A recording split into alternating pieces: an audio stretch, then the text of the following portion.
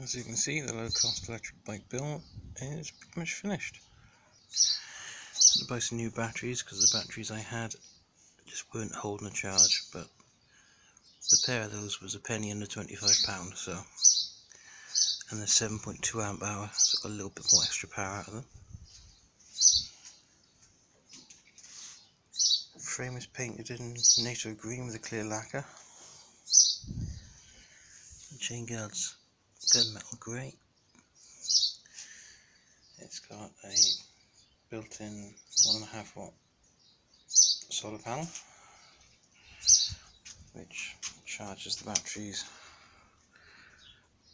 through this. in the down position it measures the voltage coming up the panel directly but because we're in the shade it's not showing anything at the moment in time. There's also a little little this LED there that flashes to show that it's charging.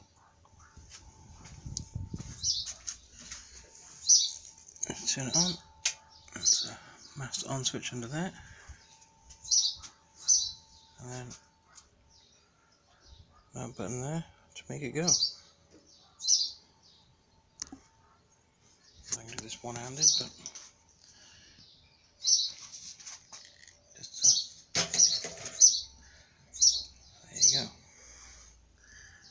knock it off just in case.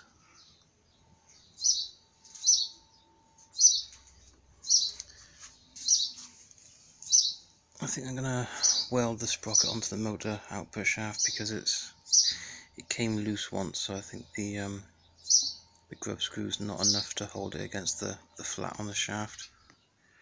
Um, there's also quite a bit of slack in the motor drive chain it's not enough to take out a link to shorten it so I think it's going to be a half link. Uh, I can't push any further back in the dropouts because the pedal chain's already a little bit on the tight side.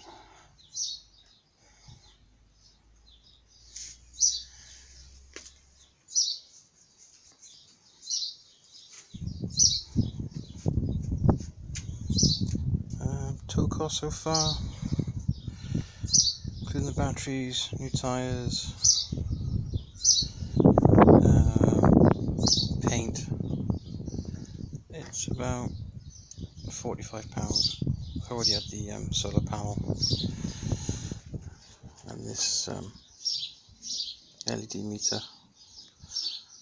These are in about three quid from China. Um, the switch on the back is about two pound. So yeah, you could probably build one of these for around 50 60 quid if you've already got a bicycle. It's currently running at 12 volts because it's a 12 volt motor. Um, but it does produce enough power for pedal assistance, although it's not enough really to push you along on your own if you weigh over 10 stone. Um, if you're quite light, it should be fine. There we go. Thanks for watching.